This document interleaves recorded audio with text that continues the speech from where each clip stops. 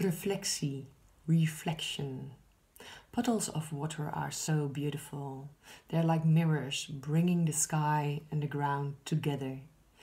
I put bark around it in this case, and therefore my English title would also be Barking at the Puddle.